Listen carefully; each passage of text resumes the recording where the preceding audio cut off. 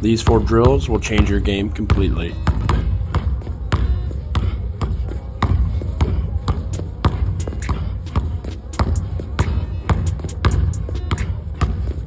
Watch my last three pin videos for more drills on how to get super shifty.